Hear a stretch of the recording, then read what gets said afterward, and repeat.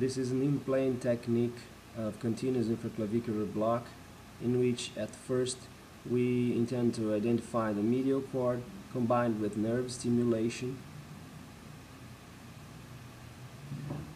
After the correct identification, the local anesthetic injection is started aiming to surround the medial cord and the blocking needle is repositioned posteriorly to the axillary artery to spread the local anesthetic solution closer to the posterior and lateral cords.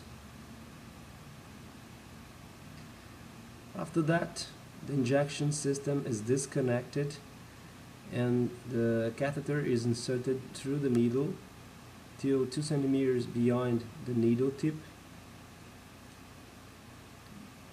and a small amount of air is going to be injected to check the, the, the, correct location of the catheter.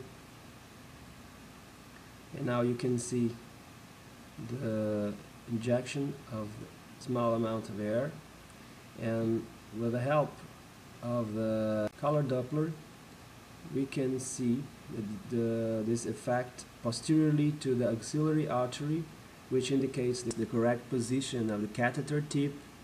And then the procedure is finished as usual with